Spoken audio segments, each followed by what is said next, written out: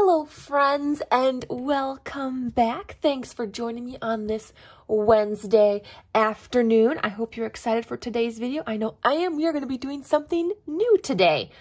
Well, technically, it's not really new. It's it's already been out there floating around. I'm just bringing bringing it back in the light, re, re, reintroducing it to you guys. So, we are going to be making a book a cluster book to be exact. This idea was invented by Tina at Shabby Dabby Doodah.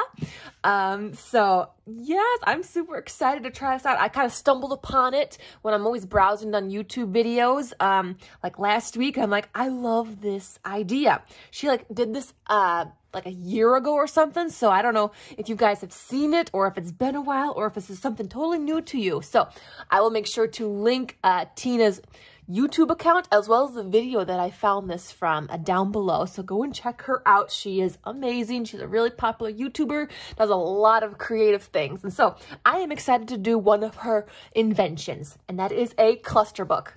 And so she made it by using, uh, taking 12 by 12 uh, pieces of scrapbook paper.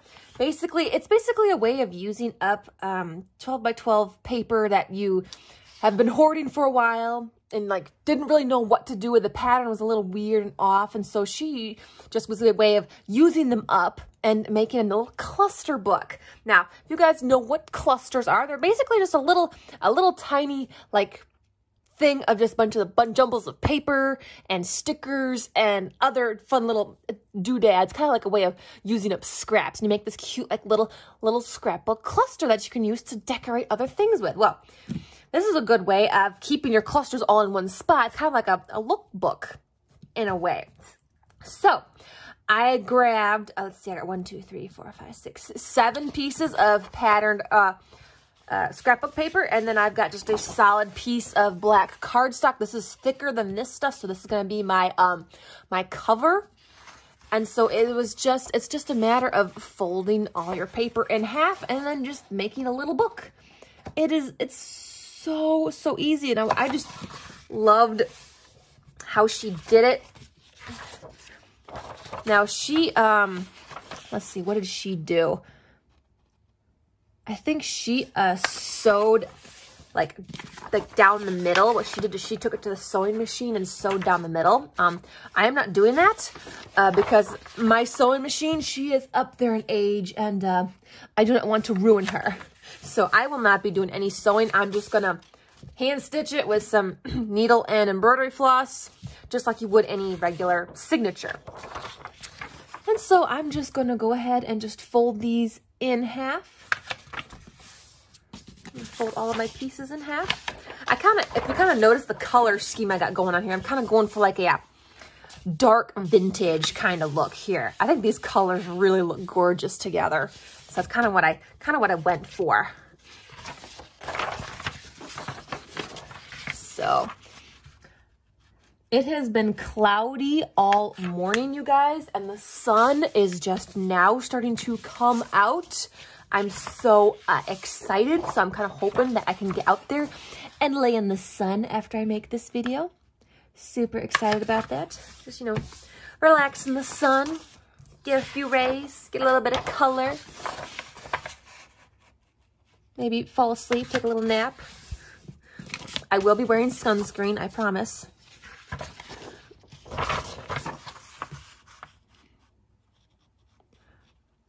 All right. All right, I have all of my papers folded in half. And now it's just a matter of sticking them all inside each other. Let's see, which one do I want to... I guess it doesn't matter in which order I do these in because how this works is once you, you make your clusters on your pages like this, and then when you're ready, you can just, you know, you just tear them out. You just tear them out. It's so, it's so easy. It keeps them all together and nice. So I guess it really doesn't matter how I put these together. So let's just go ahead and start sticking them inside each other. Just like this. To make, basically we're like making a giant signature in a way all together, just like this. All right, get those all together like so, and then you put it in to the cover. like this. All right, and now I just gotta stitch it together. And I'm just gonna go ahead and just do the basic, like, signature stitching. Let's see. Do I want to do three holes or four? Since this is 12 by 12, I'm going to go with four holes. There's one, and I'm eyeballing this. I'm full on eyeballing this, you guys. I'm not measuring or doing nothing because this is basically like a tear out book. It's a tear out book. You're going to be making stuff in here to rip and tear out. So it doesn't matter where your holes are going to be at. It doesn't matter. At least it doesn't matter to me. You can totally do it however you want. And I'm just gonna go ahead and stitch this together. Now, Tina did, she did use the sewing machine, but I'm not using the sewing machine. Plus, this way goes just as fast. Get a little extra here. Back down through this one. Oops, sorry guys, I didn't mean to bump you. I am limited on space here. And go back up into this one go. I'm just using a scrap piece of a embroidery floss here. And then it's just a matter of tying my strings at the top here. Let's see, so, so simple, so quick, so easy, and you can use whatever kind of 12 by 12 scrapbook paper you want. If you want to make a smaller one, you can use smaller scrapbook paper. She went for like the 12 by 12 because she said she had a bunch of um scrapbook paper and 12 by 12 that she, you know, she wasn't using. She was kind of just hoarding. And so, again, this was her, her way and her excuse to use up some 12 by 12 scrapbook paper. Let me make sure that knot's good and tight. And look at that. I have me a cluster book. Now it is all ready for me to just open up and to start gluing my stuff onto these colored pages here to make my clusters. Let's see, I had seven seven of these inner pages. I also will put stuff on the uh, the, the cover as well. Like I'll probably put it on the on the inside here so I can rip those out as well. I'm going to utilize everything in here, but nothing's going to waste. But that is seven pages, which gets you 14. Yeah, you get 14 sides to work with. So you got this side and you got this side. So that's 14, 14 pages to work on. Wow. Okay. I'm excited. This is an absolutely awesome idea. It's so super easy to put together. You know, and we did that super quick too. So let's go ahead and start making some clusters in here. Making clusters is a great way to kind of, you know, work through your scraps and other stuff. Though I'm, I am ashamed to say that I do not have a lot of scraps. Um, this is it this is the uh, extent of my scrap stash because I I don't know if you are aware, I am still fairly new to like um this junk journaling kind of style and so I don't have a lot of scraps to uh work with. I don't because I haven't been doing this long so I haven't made many scraps. So yeah, I've got very few scraps to play with here very few. So what I'm actually going to do is I'm going to actually use some non-scraps. I think I'm just going to, I'm just going to use my, um, my mystery junk journal box. This has got stuff in it. It's got paper and stickers and other fun stuff that we can use.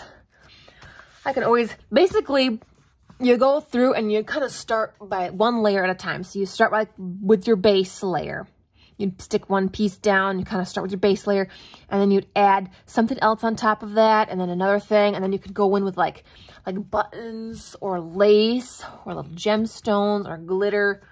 So it's, it's like a layering process also. And everybody does it differently. Everybody does it different. So I need to start with a layer.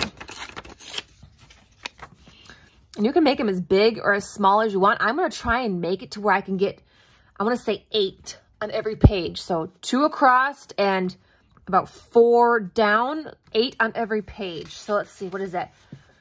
Eight times 14. Can you guys do some math for me? I am terrible at math. You guys, I failed math in high school, all right? All right? There, I said it. I admit it. I failed math in high school.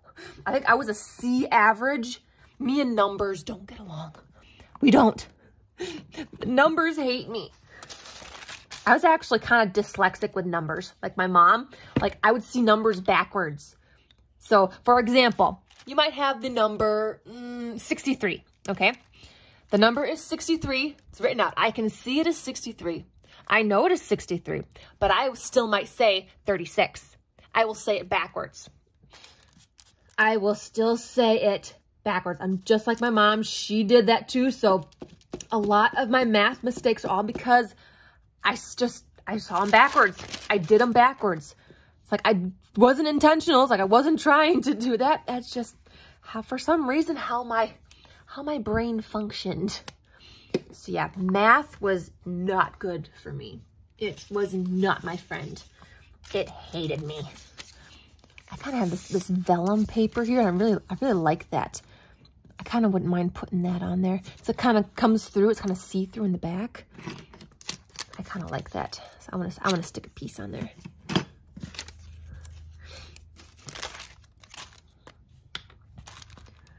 And so, yeah, once you got your little book here ready to go, it's just a matter of, you know, pulling it out and then you're just gluing stuff into it.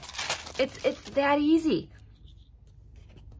It's that easy. You're basically making a book filled with, um, other, uh, like, ephemera stuff. Stuff to work with and play with. You're making your own embellishments. It's, it's a book of embellishments.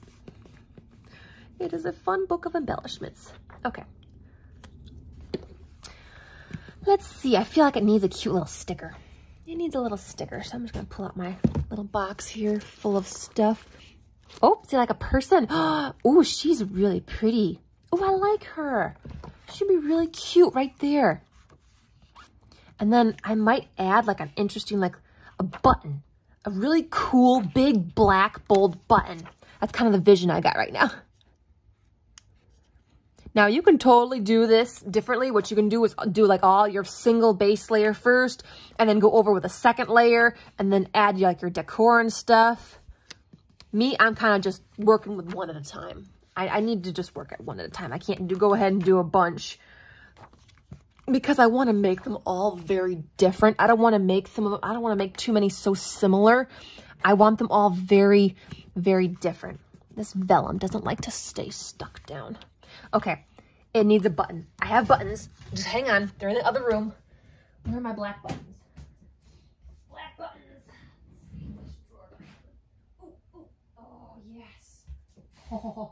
So I inherited my great-grandmother's button collection. So I have a crap ton of buttons, a lot, lots of vintage ones. And my, my great-grandmother grew up through the Depression. So she saved everything. So when a piece of clothing was like, you know, out of, you know, not being usable anymore, she would cut the buttons off of it and save it. So I've got a lot of buttons that came from lots of different coats and garments and everywhere. Absolutely everywhere. I have lots of gorgeous vintage buttons. So this needs a nice, cool, big black button like that. Isn't that cool? I kind of like that. Do I want it there or should I put it up here where I can put a word or a saying down there?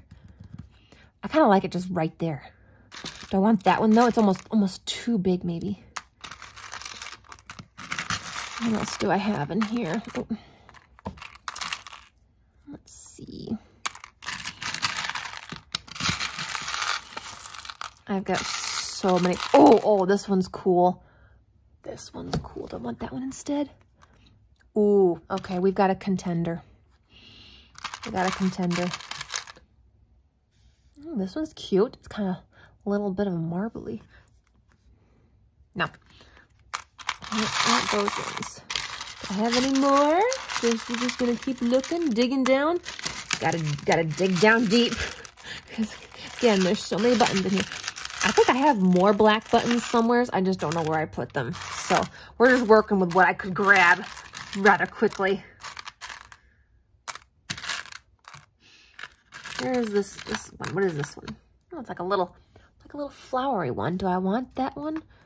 Or do I want to go with the ones that have like the black and white in it? I'm really leaning towards that one. The only thing is it's a very, it's a real big one. So it's very, I wouldn't mind going for something that's a bit like smaller, more flat. This one's a very, this one's a chunky one. So I'm on the fence about this one. But I'm not seeing anything else that I like.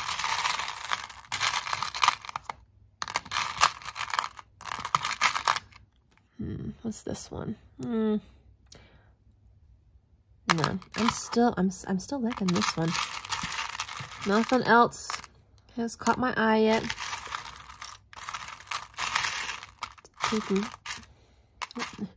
Oh, here's another one. Actually, it's slightly smaller.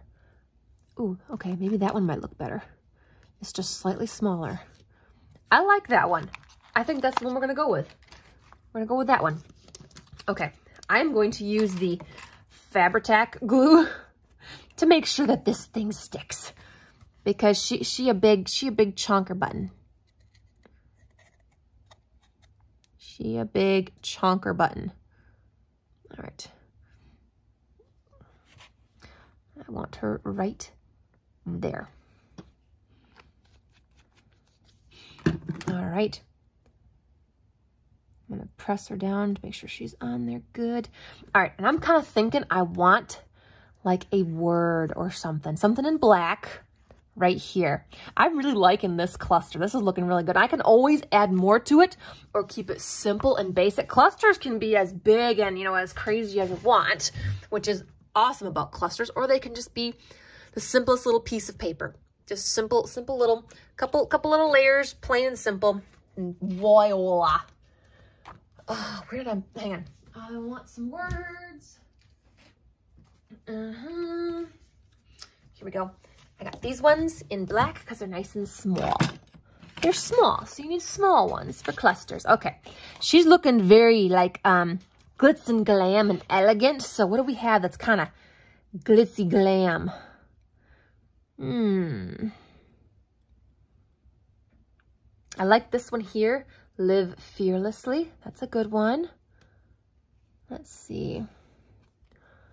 Hmm.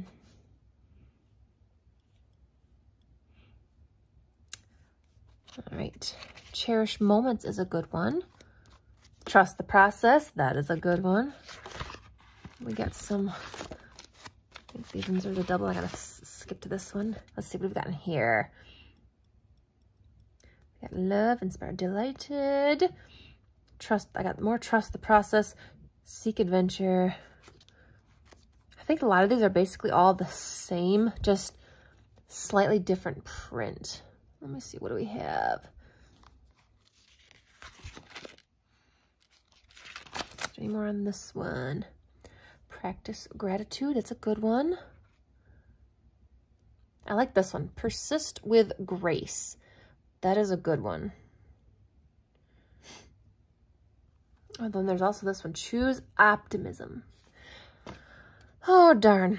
This is hard. Some of these are really good. I'm going to go with the uh, choose optimism. I like that one. I think it'll go good. I'll go ahead and carefully peel off my little sticker. Choose optimism. And we're going to stick it right there. There she is. All right. We have one cluster done in my new cluster book. Oh my gosh, I absolutely love this idea. Oh, you guys, Tina has some amazing ideas. So please go check out her channel. It is called Shabby Dabby Doodah. I absolutely love that name. It's such so much fun to say. But yeah, and it was also so quick and easy, so much fun to make. You can make as many as you want with as many papers. You can make them big or small or however you want. You can make them however you want. Look at that. All right. And so a new book has begun. A new book is born. Allow me to introduce my cluster book. We have christened it with our first cluster in there, which I think looks really good. And so when I'm ready to use a cluster like this, then I basically will, I probably will cut this way and then I'll just, I'll just rip it out. You just, you can either cut it out or you can go ahead and rip around the edges and rip it out. Yeah, however you want. All right. Well, again, I will have Tina's channel linked down below along with a video where she uh, invented this so that you can check it out for yourselves if you want. I am forever grateful for all the other YouTubers that come up with amazing ideas to share with everybody and then for us to reshare with other people who may have not seen it. So yeah, I love crafting. I love making new things, trying new stuff. So I'm always, I'm always on YouTube. I'm always watching so many other videos. It's just, it's an addiction. All right, guys. I will see you in the next video. Keep on gluing, everybody.